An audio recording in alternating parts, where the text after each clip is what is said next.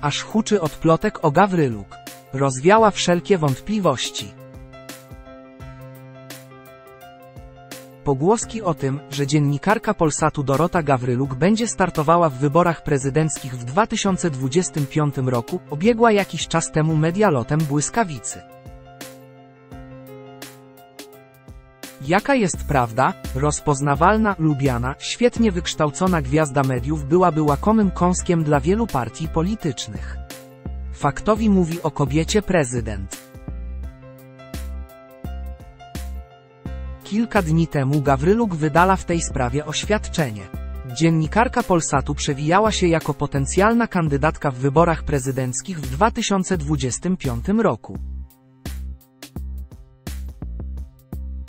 Napisała na swoim Instagramie w związku z wynikami sondaży politycznych prowadzonych na zlecenie różnych środowisk, jednoznacznie wyjaśniam, że nie uczestniczę w rozmowach z żadną partią polityczną na temat kandydowania na jakiekolwiek stanowiska.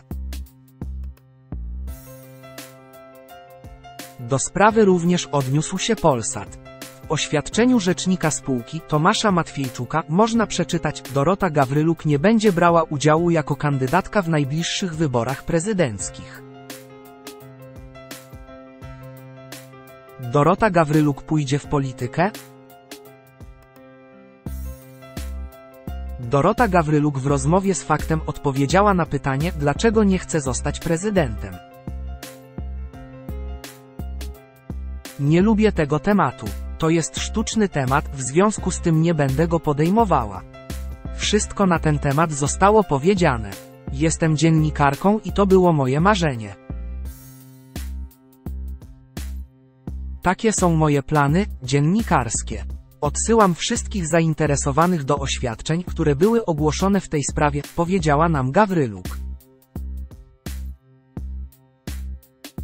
Na kolejne pytanie, czy nie chce jednak iść do polityki, odpowiedziała. Były różne doniesienia, ale nie chcę ich komentować, bo już je skomentowałam. Oświadczenia są takie, jakie są. Nie ma takich planów, powiedziała nam Dorota Gawryluk.